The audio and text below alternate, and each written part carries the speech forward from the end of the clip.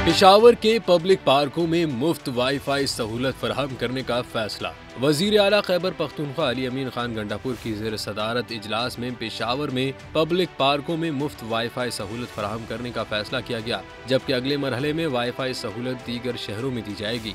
वज़ीर अला ने पिशावर की खूबसूरती के लिए पी डी ए को प्लान तैयार करने की भी हिदायत की है। इसके अलावा स्ट्रीट लाइट्स को शमसी तोानाई पर मुंतकिल करने और यूनिवर्सिटी रोड पर बीआरटी कॉरिडोर के अतराफ सड़क की बहाली पर काम करने का फैसला किया गया।